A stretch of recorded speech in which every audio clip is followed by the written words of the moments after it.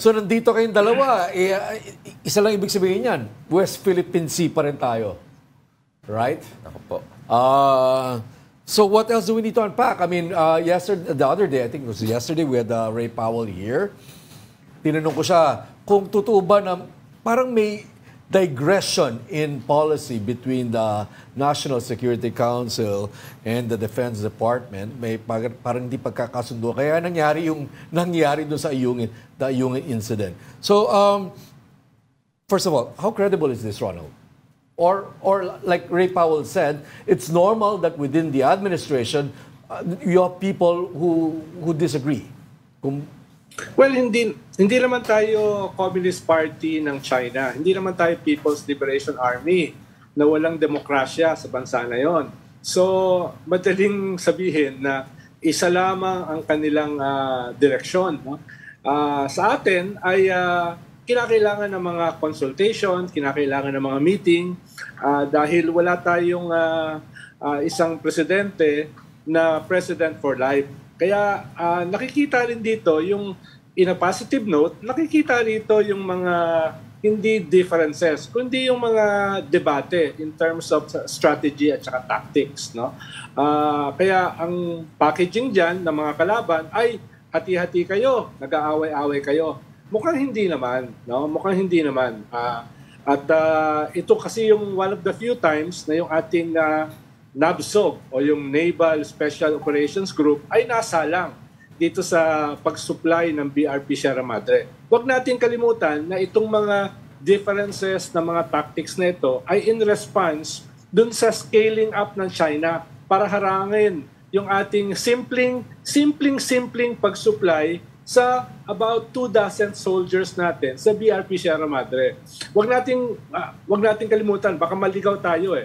Itong uh, mga differences in terms of tactics ay naghahanap tayo ng tamang kombinasyon para mabigyan natin ng supply yung ating mga sundalo sa BRP Sierra Madre. Okay, At Ron. makita natin dito mm-hmm. na naggrabe yung response ng China dito sa pangyayaring ito, no?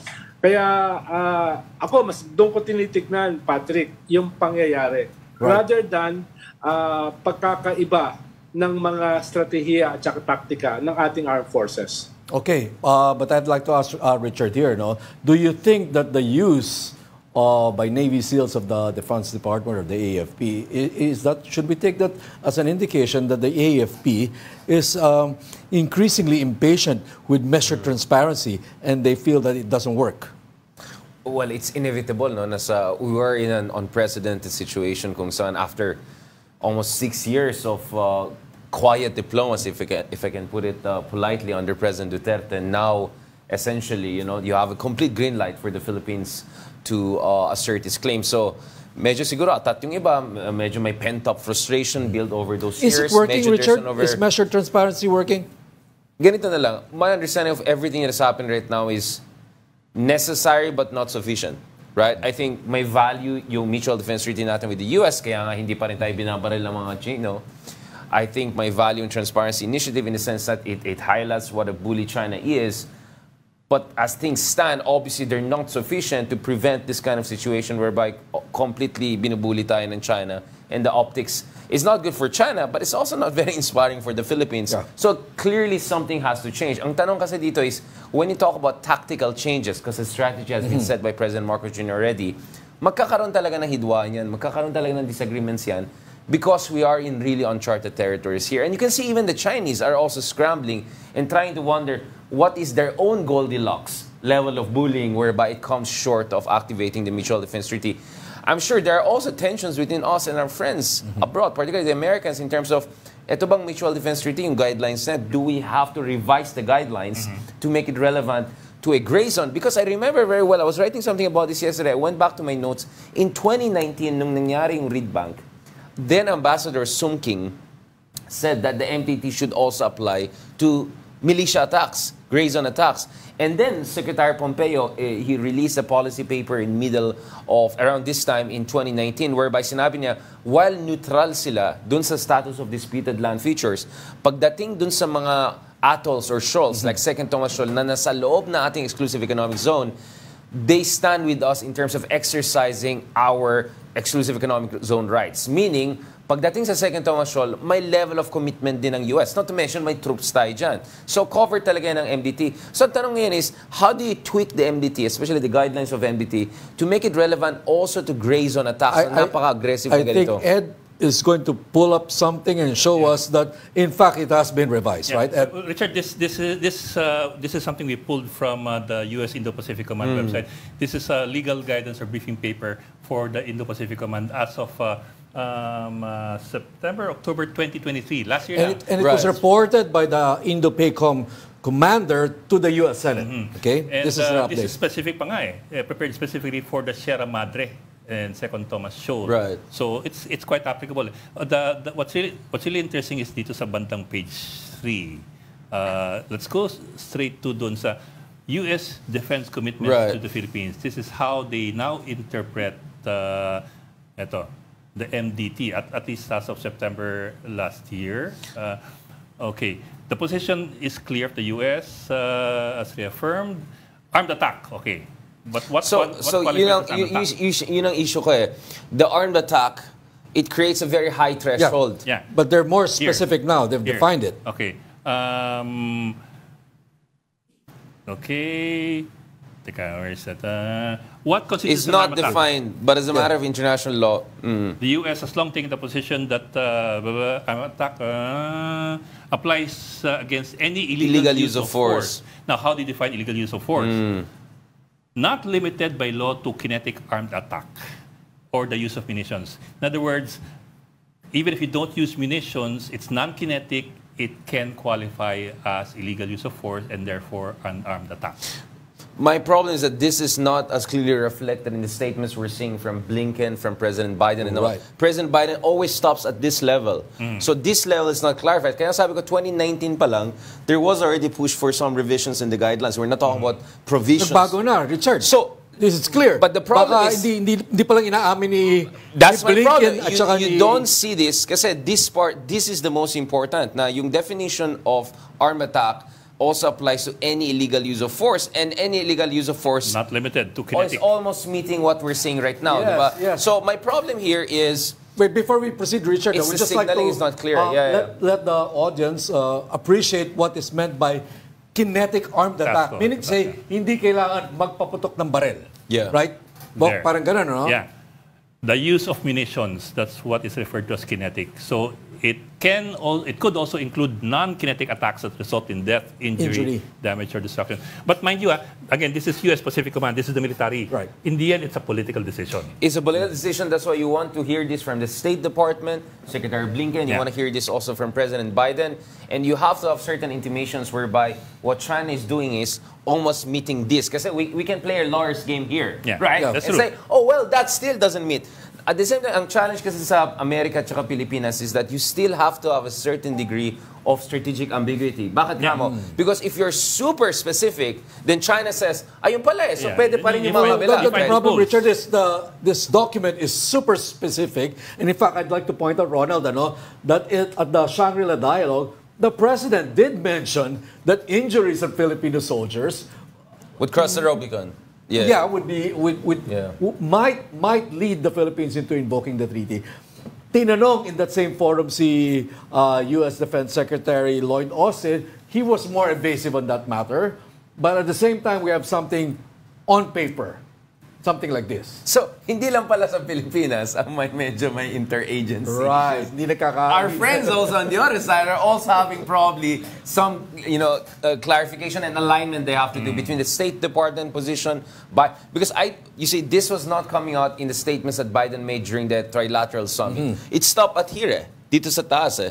Kaya ako, I always said, there has to be clarification on any illegal use of force. We see that the level of the Indo-PACOM And what we saw in operation, ano, not a no, level and- policy. and- and yeah. what we saw in Ayungin on June 17 is an example would would fall under all of this, right, Ronald? Uh, illegal use of force, Well, non-kinetic, yeah. and resulting in a cut finger, an injury. Yeah. right. Ah, actually, hindi lang dito nangyayari yan eh. Ah, nangyari din dyan dun sa border skirmishes ng China at saka India.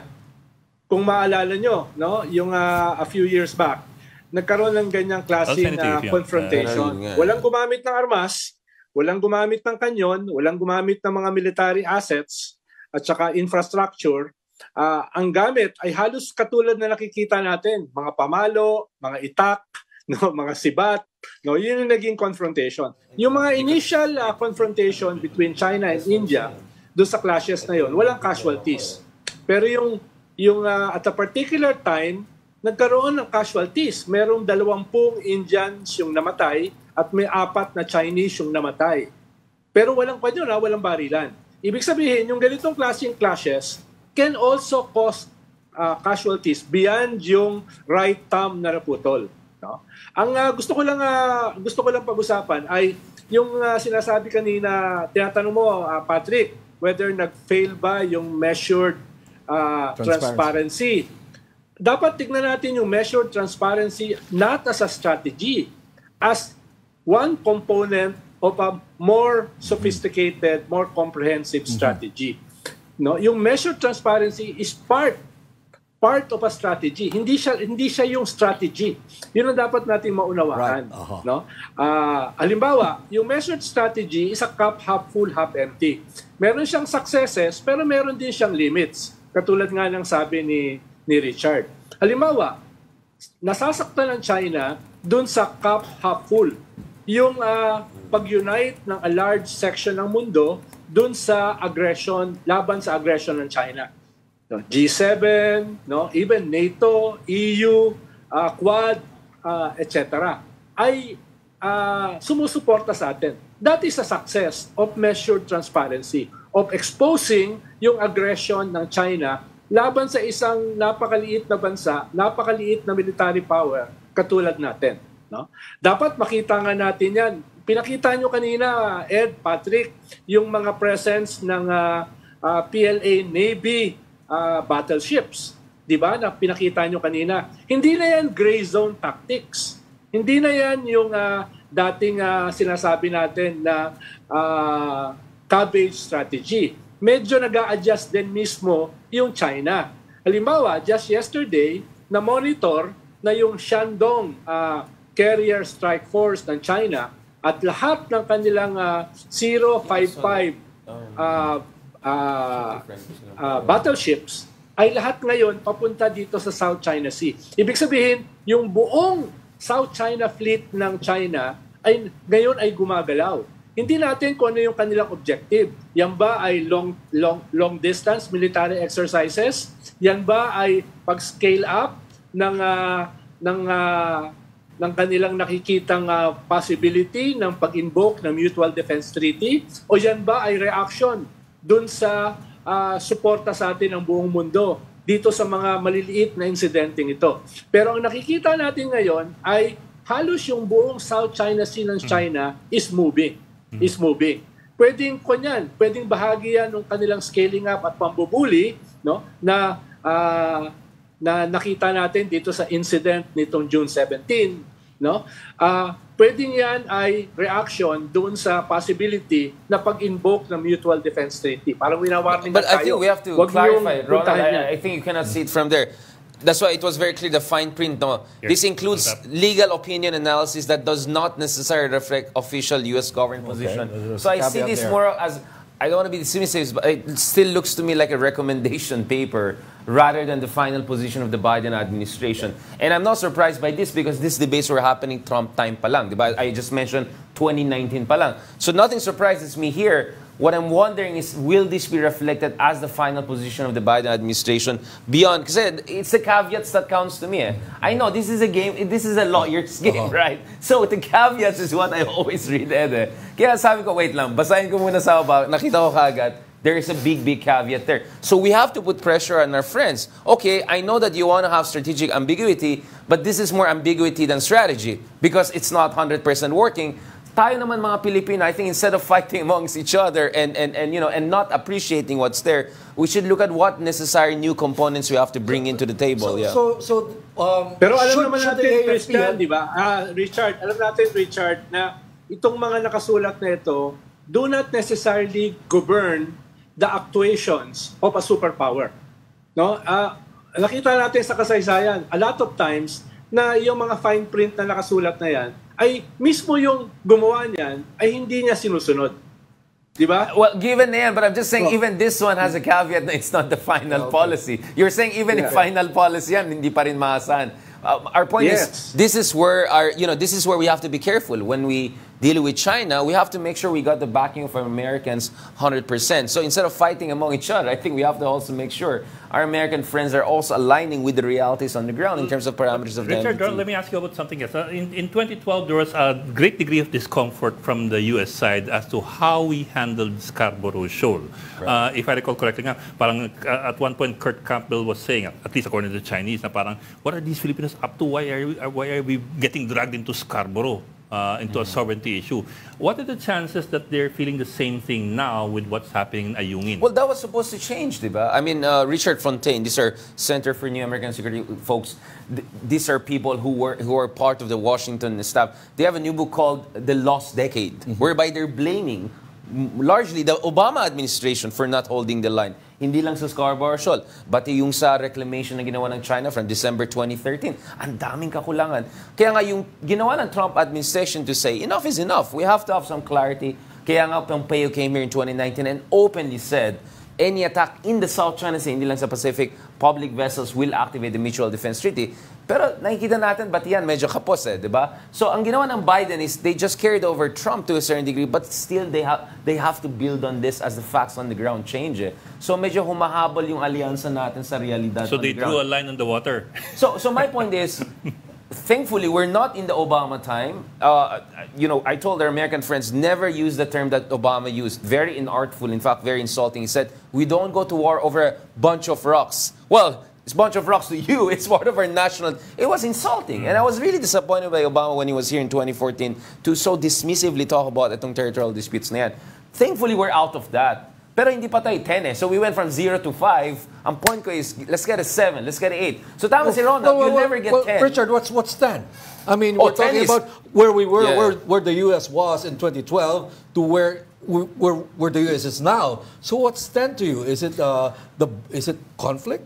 10 to me is the US coming out and saying one more action similar to like that, we'll have a direct military Isn't that We're what- not gonna, we're not going to get that. Haven't I they been saying gonna- that with every ironclad statement? No, no, ironclad is what I hear they say to Emiratis, to Saudis. In fact, I'm, Exactly. I'm, I'm allergic to the term ironclad. Come up with a better metaphor or better, I don't know, uh, you know, adjectives or other. So, ang problema sa Americans is, uh, unless you force them and push them, look at what Zelensky is doing. He's not even their ally. And he, he just keeps on bludgeoning everyone. Hey, Well, that's in America's interest, isn't it? To make sure that the fighting is done in, in Ukraine. Because Ukraine is beating the heck out Yeah. of the Russians. Yeah, so if we showed that but, we can... but- sorry, Richard, but you, you, Ukraine is a damaged country. It's a, it's a wreck.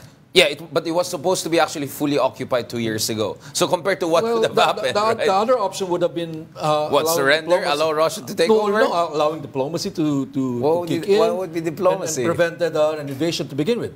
no, what would be the diplomacy? The, well, there were there were people who were arguing that invasion could have been avoided if there was if, if it was guaranteed that Ukraine would remain neutral.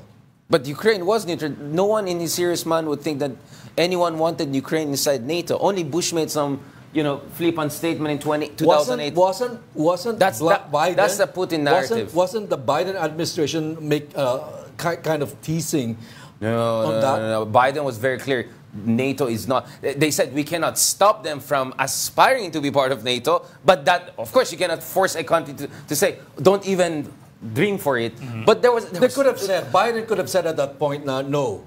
I would say uh, they Actually- say, actually, well, But, were but to be honest, I think Putin was just out looking for an excuse. He wanted to get Luhansk and Donetsk. The 2014 Maidan revolution, that was really the worry for Putin. So actually, I don't buy that argument. That's, a, that's a Russian narrative. But could the US always do better? Of course they could do better. Ang point ko naman dito is, pagdating dito sa West Philippines, thank God, wala pa rin namatay, wala pa rin nangyari. So, we have to take that win and then work it from there instead of fighting among ourselves or fighting with our ally. But that means that hindi tayo pwede maging complacent. And now we have to look at the situation whereby we get closer to this definition when it comes to actual American foreign policy. So maybe it's very important for Blinken, for Lloyd Austin to tell their Chinese counterparts, this is not sustainable. Either we're going to be forced to come in or we're going to totally lose our credibility Pero looking as, at- as, as, as, a, as a regional leader, supposedly. But looking at scenarios, kasi Di ba, the- di ba yun din ang sinasabi ng China ngayon?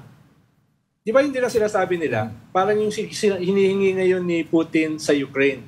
na we can have peace, pero hatiin natin ang Ukraine. Di ba yun ang sinasabi niya? Nasa amin na yung Crimea, Right, nasa amin right. na yung Donbass, pero we want more. So, we are open to having peace, pero hatiin natin yung bansa nyo. In a way, yun din naman ang sinasabi ng China. No? Na yan yung pinanggalingan ng ating mga tinatawag na secret agreement. Ah, may naniniwala ba sa atin na yung China ay aalis sa kanilang artificial islands? May naniniwala ba na yung China ay babaklasin yung kanilang billions of dollars ng artificial islands within our ah, maritime territory? No? Ah, wala, wala namang naniniwala eh. So, ang tanong dito, what are we try ah, what what is being offered to us?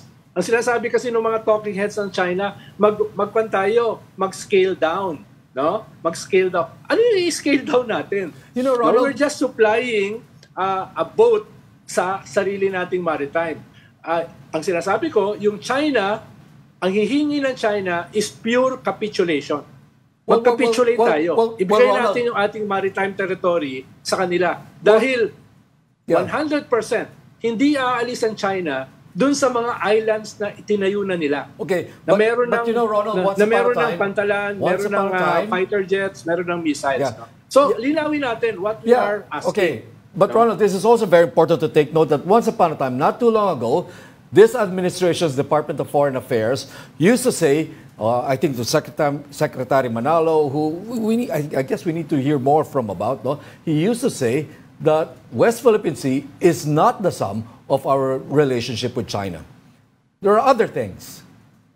It's not just those islands that we have to balance and consider.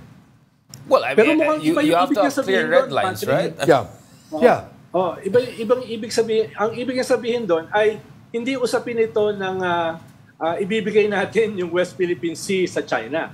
Mukhang hindi yun. Ah, that was far from ah, from the, No, sa I think what he meant to say was. ibig sabihin. Well, I think what he meant to say is to, to let diplomacy do its work because there are other stakes. Uh, if we uh, go down the rabbit Patrick, hole with what, China. what is diplomacy? Kasi what the Chinese are saying is, hayaan mo yung BRP Sierra Madre ay ba, ano eh, mag-iba. mag- and to give away to, to give into the, to the elements to the elements So right? we take over then the we, then, Uh-huh. kasi since we have documents from the Chinese more than 10 years ago saying all we need is hintayin lang natin ito this thing will disintegrate on its own. Now one thing I didn't mention a while ago is reports suggest despite all of this some could say kabuki show some could say dangerous show Actually, na-fortify na natin, nagawa natin yung kailangan natin. Some of my met- uh, metallurgic engineering friends would say, I'm not sure about that claim. But based on the reports we're saying this, while all of this, I don't know, kabuki show, what, we did what we had to do. So at least, I'm glad that ginawa natin yung kailangan natin on the ground because we cannot lose the second Scholl. We cannot lose yung position natin sa BRP Sierra Madre. So, it's not like kinakawawa lang tayo. uh, Hindi lang- it's not sorry, like bugbog sorry for the tayo. question, uh, Richard. Why can't we lose? Um, why can't we lose second Thomas Shoal? Well, why can't we just Okay, give, a- what's give there? away? What's there? What's there? Well, I mean, first of all, Well, this is will- well they will- within our exclusive economic zone. It's a low tide elevation. Territorial waters based Yeah, on that. it's a low tide Parang elevation, so it's not a territory to be claimed. 1, 2, and 3. Pag nag-succeed sila doon sa Sandy Cay 1, 2, and 3, doon nila sisukatin yung kanilang territorial waters. Medyo game changer yun, Patrick. Na? Kaya kung gagawin nila yan dito sa Second Thomas Shoal, imaginein mo yung kanilang infringement even beyond our EEZ. No? Even papasok sa ating ah, clear territorial waters. So, yun, hindi siya maliit na bagay eh. Hindi siya BRP Sierra Madre lang. Hindi siya simpleng ayungin lang. Pero Bok, It is where they will establish another artificial island where they will measure their territorial waters. And put weapon Pero, systems Bok, uh, there. Let, let me try to reframe the question. Uh, uh, if we were to try to go the, the, the way of diplomacy, what what are the options available to us without going down the road of acquiescence, complete acquiescence? I mean, no, ku- if we if we talk, uh, what's what could we put Well, on I the mean, table? let's, What could we get? Every, we always hear, let's learn from our neighbors. Let's learn. Well, the Malaysians unilaterally just developed oil and gas resources within areas claimed by China. China made noise. They sent ships. Blah blah blah. In the end, They had to accept the facts. And then Malaysia came in and did what Manalo Okay, said. learn- learn- But there's more to our bilateral relations. Let's Okay. talk about economics. Richard. No, no, so, so history tells you if you stand your ground, after a while, China recalibrates. Right, then right. deals okay, begin a we- we've different seen that. Learn, learn from our neighbors. Our neighbors, uh, yeah, you're right. Uh, uh, Vietnam has put up a stand and For 1,000 years. So Right, right. no, uh, they're right down China. They're a neighbor of China down south. No, learn from our neighbors. If you will go by every statement that China has issued every time there's an incident, they have been accusing us of being uh, of playing into playing into an American strategy in the south in the South China Sea. That- okay, I see what you're my, saying. My, prob- my, my, my question is maybe we should stand up alone rather than uh, uh, hoping that America will come to our defense. Well, my point is the Maybe, reason why. maybe, maybe that's a problem of China. It's the biggest problem of China is that there's maybe they're not respecting the way we stand up to them. Well, my point here is kung sana binigyan ng chance yung ginagawa ni Pinoy na hindi nagkaroon ng... I mean, for me, the reason we're here is because of Digong. Because Digong spoiled the Chinese. And most likely, he gave them some gentleman's agreement talaga kung saan akala ng mga Chino, tapos ng laban, they pocketed the Philippines. I, actually, I trust China more than Digong on this issue when they claim there was a gentleman's agreement. So, my sense is the Chinese are having a tantrum moment. They're, they're really disappointed. But as we discussed in a previous uh, uh, episode, hindi lang ito usapin ng anong nangyayari sa Why West can't we Philippine Sea. to? Nangyayari why din can't ito. we stand up to China on our own? The Philippines Armed Forces is barely half of what Malaysia or Vietnam can deploy at this point. China will have zero respect for us if we have no backup whatsoever. And if not for the Mutual Defense Treaty, they would have already engaged in what they call short, sharp war, like what they did to Vietnam in 1988. We have to have no illusions. The reason why the Chinese Chi- are, Chi- are China using will always gray zone... Strong. It doesn't matter if, if Vietnam is stronger than us, but China will always be stronger than Indonesia, Vietnam, Sure, Malaysia, but, everybody but else. we don't even meet the minimum threshold yet. Kaya ang argument ko is, i-leverage mo yung US alliance mo, but don't get too much but- into but- the US So that's camp. my point, uh, Richard. Isn't that precisely the problem? The way we're leveraging the U.S. If tomorrow, uh, you because know, we you go know, and the take- bottom, Patrick, the Patrick, bottom line here is Patrick. that yes, Patrick, uh, when, when the tensions happened in 2012, the Americans weren't even here. There was no EDCA then. No? Ah, nagsampa tayo ng kaso sa UNCLOS because the Chinese started building their artificial islands within our maritime territory. There were no Americans then. When we filed the case in UNCLOS, no, wala yung yung abogado natin na kasama dito sa UNCLOS case, ito yung nagsampa ng kaso laban sa US uh, for yung Nicaragua. So, uh, from the start, we weren't leveraging the Americans. Dahil So nauna Ronald, yung China. eh. precisely to that point. ng- It- it is possible-. It, it is possible to Oo. stand up to China on our own because we did it in 2012. Yes, pero ang nangyari, nagabansi sila. They established these artificial islands. At hindi natin napigilan dahil nga wala tayong pantapat. No, kaya nagsampa tayo ng kaso sa UNCLOS. We invoke international law. So are no? you- Ang sinasabi ko lang, telling- Patrick, are are you we, me, Ronald- nung simula, we never leveraged the Americans. So, so no? Ronald, are Hindi you natin telling me that leverage. uh, EDCA is a consequence of that, trying to really leverage the Americans? That's why we're allowing more Well, EDCA sites for the Americans here That, on that Philippine was, soil. linawin natin, Patrick, that was after the Chinese built their artificial islands within our territory. No? Ang diplomatic ah, solution sana dyan, yung tinatanong kanina ni Ed Linggau, ay ah, pwede ba natin balikan yung nakaraan na pare-parehas tayong nangingisda dito, Right, right. pare-parehas tayong dumadaan, no? nang walang isang bansa na i-claim ito arbitrarily, like dun sa artificial islands na ginawang military bases. Pag tinignan mo yung artificial islands, these are military bases with missiles, with Right. submarines, with Right, right, runways, right, Ronald, with pero I- fighter I jets. also- I think I medyo malayo, medyo malayong malayo I- sa I- atin, ha? Yeah, I- but Medyo Ronald, I also malayo, remember ha? Yun yung, once upon a yun, time. Yun yung sinasabi ko na, na from the very start, wala tayong leveraging na ginawa. But Ronald, I also Nagsimula remember once upon a time, once upon a time, Ronald, during the time of Gloria Arroyo, there was more cooperation happening. Of course, you might be critical of that kind of cooperation that was being done with China. And, and sorry, I know you were part of the Pinoy administration, but it seems things turned quite nasty starting from that time. Well, Patrick, time you uh, forgot ano, Mischief Mr. Reef. We lost Mischief Reef in 1994, 1995. During Ramos' Where the Americans left. Just two, three years after Americans left their bases, immediately the Chinese came in. That should have been a wake-up call that we cannot trust China, and that should have been also a wake-up call that we cannot stand on our own. We had the next 20 years to build up our capabilities. We didn't. At the same time, our alliance with the U.S. was also... So you had this very toxic situation of Ronald, Philippines uh, not Richard, building we its can keep coming back to how uh, the No, no, different countries Patrick, I'm started showing grabbing you that islands and- everything that we're doing is in response to China. Why are we gaslighting ourselves? No, we are don't- don't arguing use words for like China. gaslighting or disinformation. We are gaslighting No, ourselves. no. Everything we do is in response This to what is a China discussion, is. Richard. We need, a- we need, we need, This is we need to challenge ideas here. Yeah. We're journalists here. We're not supposed I'm to agree good. with you. I'm good, so Patrick. This I- is, debate this is our only function here is I- to I- challenge your ideas also. I, that's what I'm saying. I think we, uh, we let's not forget when it started is when China occupied the Mischief Reef. Everything else is just reactive, reactive. Patrick, in theory, I wanted us to have armed forces as powerful as Vietnam, armed forces even just as powerful as Malaysia, and then work it this out. Pero wala na tayo dyan eh. Andyan na yung alliance. So make the most use, uh, use out of it. At the same time, don't get over-dependent on the Americans. It's a doable thing. The Koreans have their own headaches with the Chinese. They have their own maritime uh, problems with China and Yellow Sea. The Japanese are U.S. ally. They also have their problems. So my point is, ang problema sa Pilipinas is always either or. Itapon natin Amerikano, dun tayo sa province of China. When reality is always in this 50 shades in the middle. That's what mature strategy is all about. Otherwise, kaya nga sabi ko, di talaga tayo mag-grow as a country kung hanggang, ano ba tayo, Team US, Team China. No, we should be Team Philippines. And as Team Philippines, how do we make the most?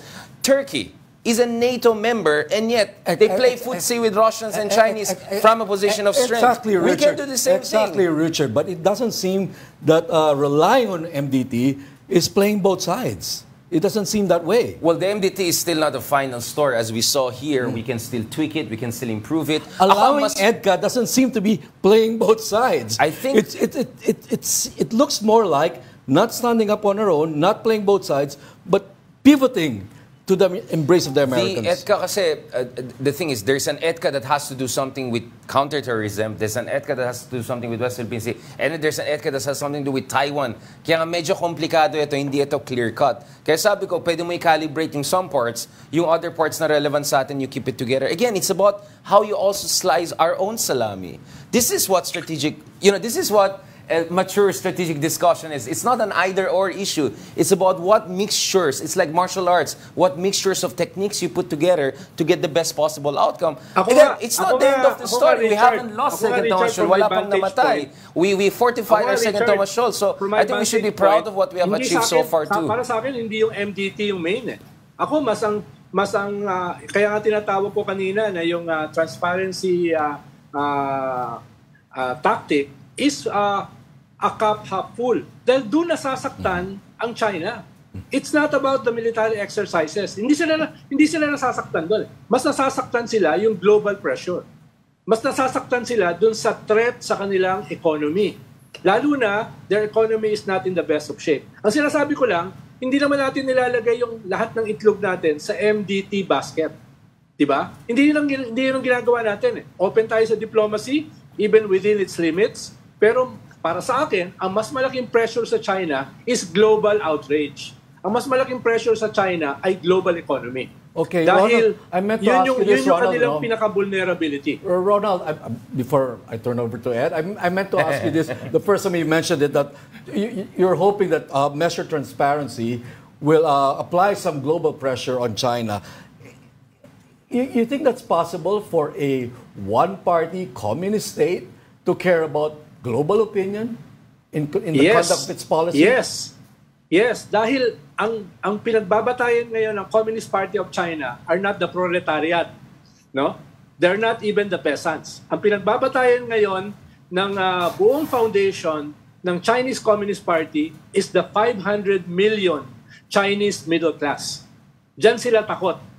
No? Diyan sila takot. At yan yung vulnerable sa economic global pressures. No? Diyan sila takot eh. No? Ang ang Communist Party of China galit nga sa kanilang mga trade unions eh. Galit nga sa proletariat eh.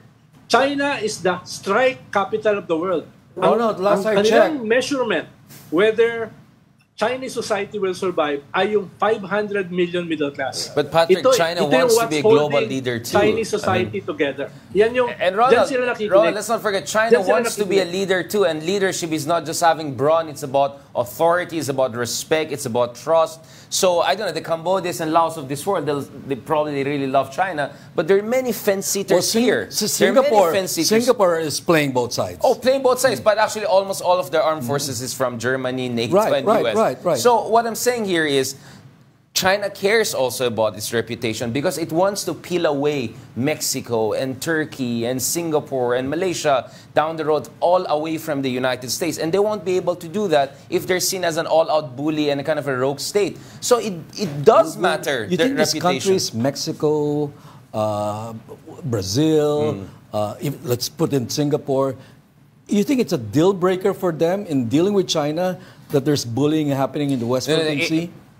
Honestly, Patrick, Huh? there Is it in the national interest of No, it's Singapore? not a question of national or, or, or the fact India that- or Brazil? But Patrick, this is not about sentiments and love. Exactly, exactly. This is it's about, about national interest. So I, I was wondering, you, you think uh, uh, India is going to say, oh, we're going to stop trading because uh, China is bullying the Philippines there and the is, West you see, when when uh, the best parallel we can find is Russia. After Russia invaded Ukraine, the Vietnams and Indias of this world stood by Russia diplomatically by not condemning it, but quietly behind the scenes. At least the Indians are diversifying.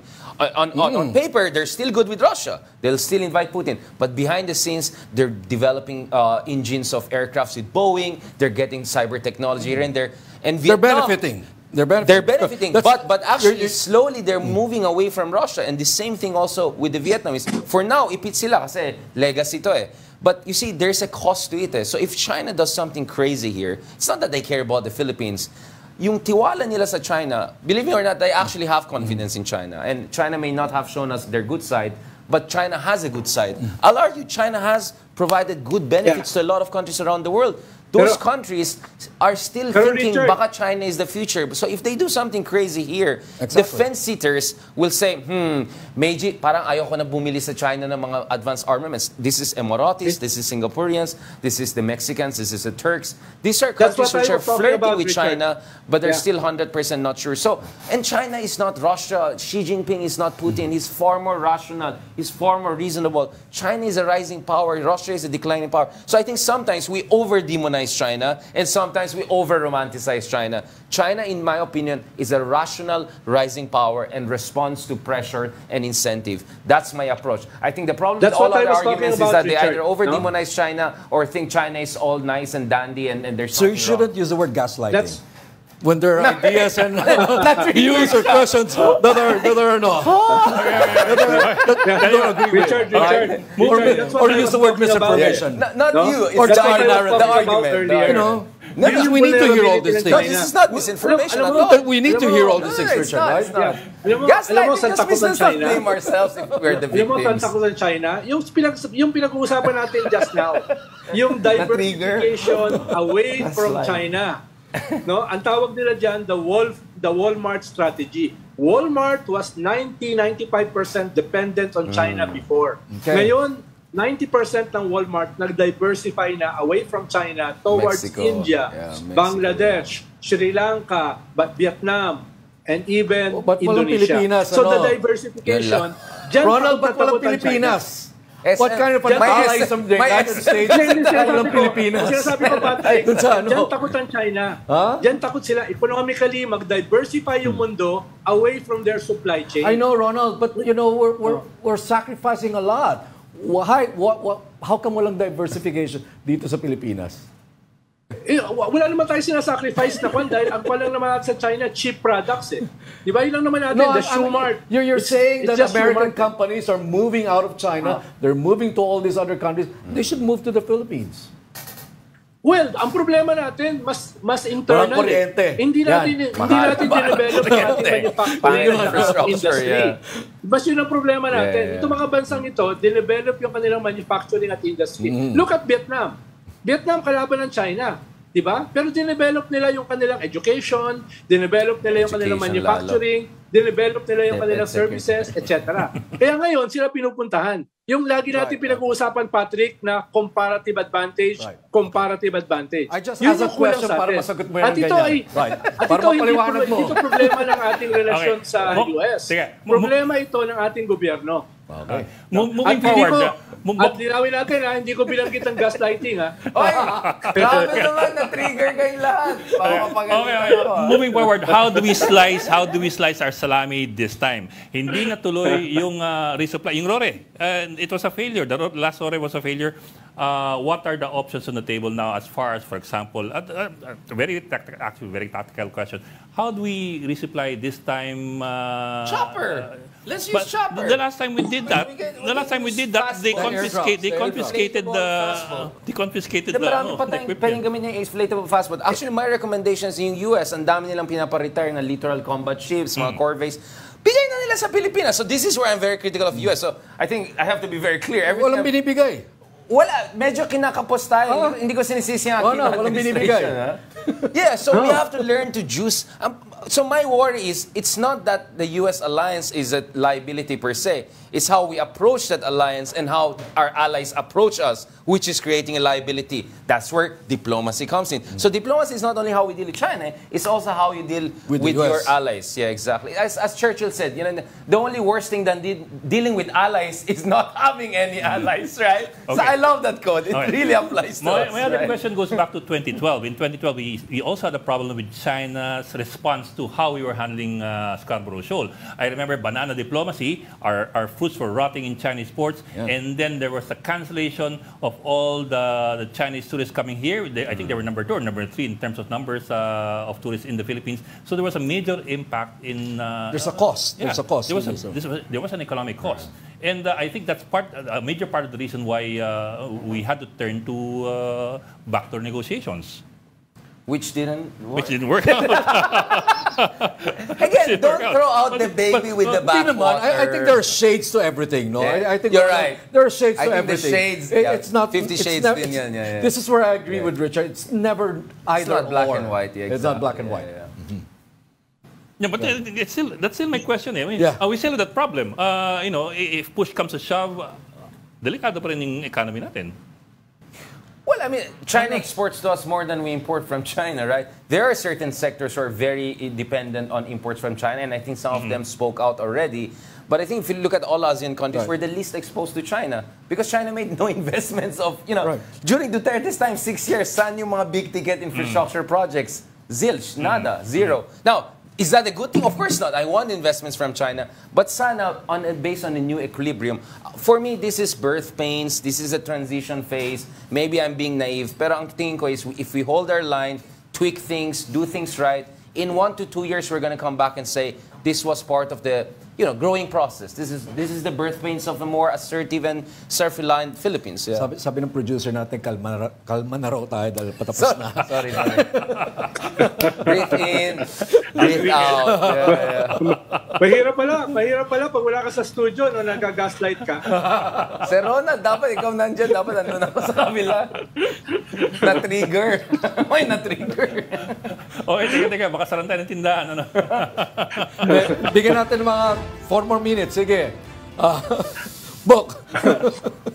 oh, I don't know if you guys have asked this question already in the, the, the past uh, two, ano eh, pero, uh, di ba? Uh, quickly lang. are- are Quickly we lang, Ronald, uh, Richard. Ako, Um, should- gusto, should the ko, Philippines- gusto ko should- lang, Ed, Ed, gusto kong i-emphasize ulit yung Walmart framework. No, for lack of a better Ayaw term. No? Ang sabi nila, it cannot be done. It can be done.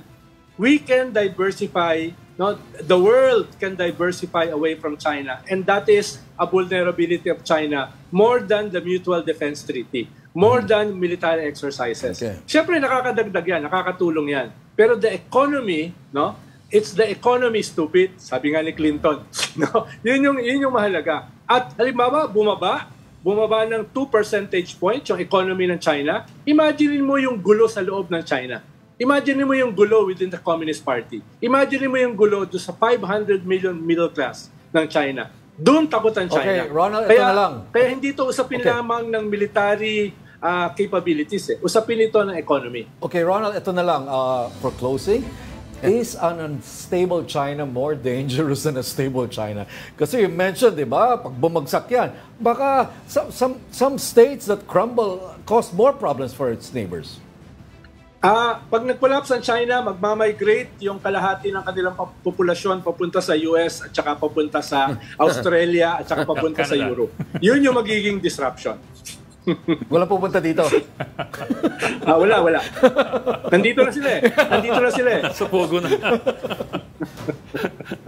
okay. Oh, Richard, ikaw. Uh, last word. No, no, ako, I mean, for all of, uh, ako, don't press the uh, panic button. This is a journey, you know, we just have to hold each other's hands as we go through this, diba? Uh, we can tweak it. Um, we're fortifying positions on the ground. Uh, wala we lost no territory so far, no casualties so far. I think the Americans are coming under pressure to show their, their, their reliability. I think the Chinese, despite everything, also realize that they don't want to escalate it too much to make it uh, deadly and bloody. So ako, I take a much more sanguine view of what's happening right now. I think this is just a process and transition. Is there risk? Of course there's risk. But without risk, there's no reward. And how are you going to be a real country if you're not going to take any risk at all? But for me, this is a process. Ang, ang tagal ng reward, ano eh, Richard eh. Well, not losing anything is a good Well, reward. ba? no, I mean, the, the, the US has, you know, we're Oh, not yeah, yeah, feeling yeah. anything Well, from US is a- Because I remembered in your mess. interview, ito na lang, ah, you have a few more minutes. I remember in your interview with Ambassador to the US, Babes Romualdez, he said, oh, it's going to be dramatic, the improvements and the capability, the increased capability of the armed forces will be dramatic in the coming years. We, we haven't seen any of that. Kaya nga, we haven't sadly, seen any it- of it- that. it's a years-long process. But the good news is the Philippine Coast Guard is going to get some big ones, not from US, but from Japan. We're buying. Japan. We're paying for We're those. paying, of We're- course. We're, paying for those. We're a richer country. We're, we're becoming an upper middle income yeah, country. but We're it's always better to get something free. But we have to get the free ones. Kaya in a new piece coming out with Nikkei Asia, my argument We're is giving them access they to our have to- bases. Well, I mean, there, there should be Kaya some ano, the, the bargaining is give that, them minimal base, get maximum aid. Hindi yung opposite na give them everything, get nothing. So again, that's why it's not binary. Eh. It's really a negotiation process. Okay, pinapalis na tayo. Pinapalis na. Pina- Bakit nyo kasi sinama ni Ronald at ako, hindi talaga matatapos tong discussion na ito. This is a free flow. Okay, pinapalis na tayo ng China. well, thank you for joining Pero, us, Sir. Oh, pero Richard, Ayan na, monitor mo yung... Sige, sige. Ayan, Last sige. word, final monitor word. mo ngayon ha, medyo, kanyan, medyo delikado. Yung Shandong stri- ah, Strike Force, ah, Carrier Strike Force, na gumagalaw ngayon. It's moving ha, and everybody is monitoring it. That's the entire South China Fleet of China.